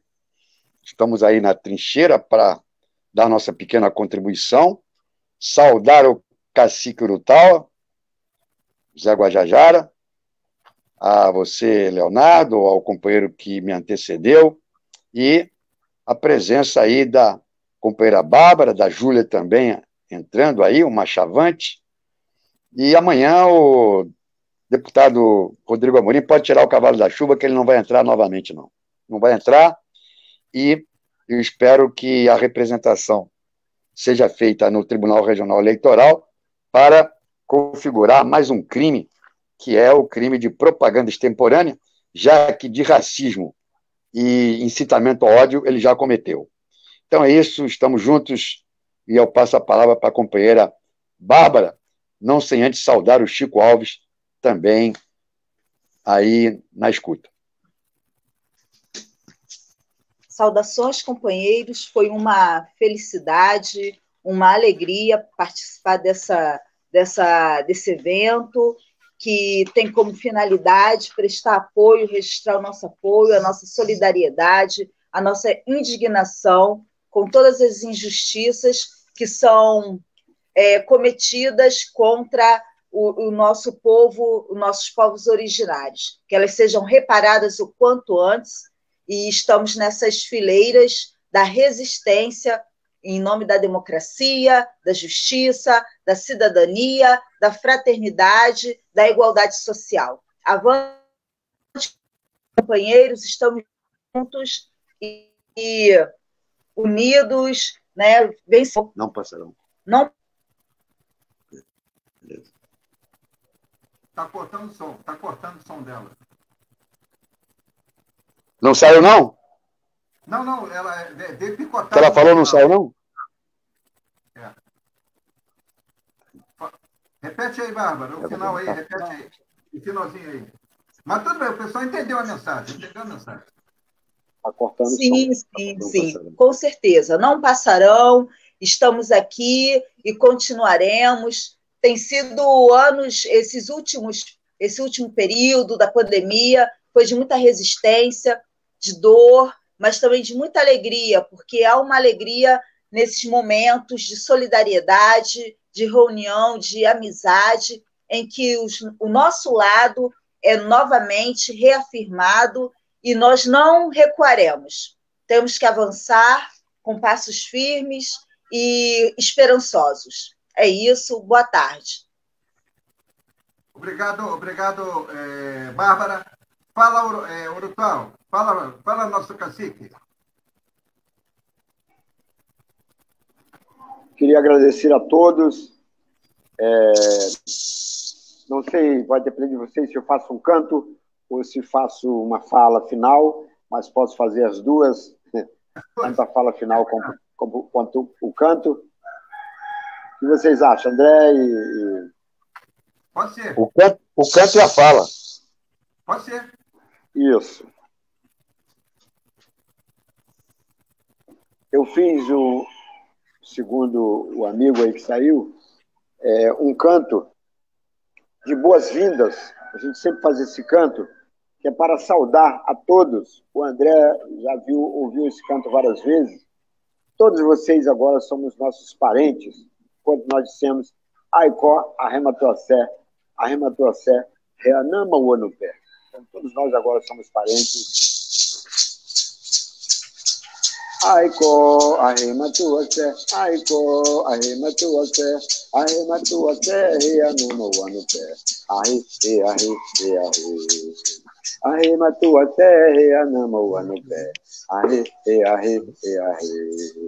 Aiko, ahematuase, aiko, ahematuase, ahematuase, reanuma uanupe. Ahi, e ahi, e ahi. Ahema tua terra, anama o pé. Ahi, e ahi, e ahi. Maracamu pupô, maracamu pupô. Aiko, ahema tua terra, aiko, ahema tua terra, ahema tua terra, anama o pé. Ahi, e ahi, e ahi. Ahema tua terra, anama o pé. Ahi, e ahi, e ahi. Tiro, tiro, zengarapa, tiro, tiro, zengarapa. Aiko, ahema tua terra. Aiko, ahi na tua te, ahi na tua te, he ananda vanu te. Ahi, he ahi, he ahi. Ahi na tua te, he ananda vanu te. Ahi, he ahi, he ahi. Queria fechar essa fala com uma frase eu sempre cito ela, e agora com esses ataques não é diferente de 1500. Quando os europeus não, não, invadiram essa nossa terra, eles pisaram duro, todos os europeus, pisaram duro nessa terra. Tanto que os rios subiram, o mar ficou mais salgado, as lágrimas dos assassinatos do nosso povo, dos nossos ancestrais, avós, das nossas iaiás, das nossas aris avós. Quebraram nossos galhos, cortaram os nossos troncos, mas não conseguiram arrancar nossas raízes. Tentaram de todas as formas nos genocidar, até nos enterraram, mas não sabiam que nós éramos sementes, que somos a própria terra. E brotamos, essas sementes brotam, e aí estão os nossos filhos, netos, descendentes, indígenas, brotando, renascendo da própria terra. São meus filhos, os meus netos, sobrinhos que estão, e não conseguiram nos matar completamente. Por isso estamos aqui defendendo esse território sagrado aldeia Maracanã. E todos que atentarem contra esse território sagrado terão, de uma certa forma, enfrentar os nossos espíritos, porque nós somos os primários e primeiros. Quando os espíritos europeus chegaram aqui, nós já estávamos aqui. Os nossos espíritos ancestrais já estavam protegendo esse território. Aturral, Zanecaru, Porto Boa tarde para todos. Muito agradecido. Boa tarde, boa tarde. Galera, é, eu, eu, quero que vocês compartilhem e o mesmo link que vocês entraram no YouTube é o mesmo link que já está gravado lá. Então, só no canal, se inscrevam no canal, acessem lá, cliquem no sininho lá para acionar as notificações de novos vídeos. E aí eu quero mandar um recado especial para, para o nosso cacique aí, Urutão. Eu fundei no dia 8, no dia 8 de dezembro de 2019, uma ONG, e eu, a minha, minha especialidade, minha expertise é tratamento de água. Eu sou gestor ambiental, químico e trabalho com tratamento de água na Petrobras. E eu escolhi o um nome indígena para minha ONG, chama ONG Tongui. Tongui é o deus Tongui dos índios cuicuros do interior de Xingu, está descrito no livro de 2002, Água de Xingu, ele que trouxe as águas para, para, para, para a Terra. E eu fundei no dia 8 de dezembro, que é dia de, de Nossa Senhora da Conceição, que na, na, na, na, na Umbanda é, é Ogum, Ogum, e que é deusa das águas doces, né? Deusa das águas doces, Iemanjá das águas salgadas. Então, foi tudo uma conjunção, e eu moro em Sapucaia. Sapucaia é uma árvore tinha umas sim, cabaças, sim, e os indígenas usavam as cabaças para carregar água. Então, tudo a ver, sim. e com Deus, Tongui, que trouxe as águas em sete cabaças, e derramou as águas e trouxe as águas para o mundo. Então, olha, perfeito, cacique, perfeito o, o doutor André, a doutora Bárbara, e olha, todos que participaram dessa live, fantástica, tá? E compartilhem divulguem, deixem seu like, deixem seu comentário no YouTube. Tá? E se inscrevam se não tiverem inscrito no canal. Valeu, galera. Muito obrigado, muito obrigado. E amanhã, resistência, todo mundo lá, na, lá no Maracanã. Não vai Isso. haver, não vai haver motocicleta, tá certo? Valeu. Obrigado, Cacique. Tchau, tchau. Caturral. Um abraço a todos. Caturral, Caturral. Abraço a todos.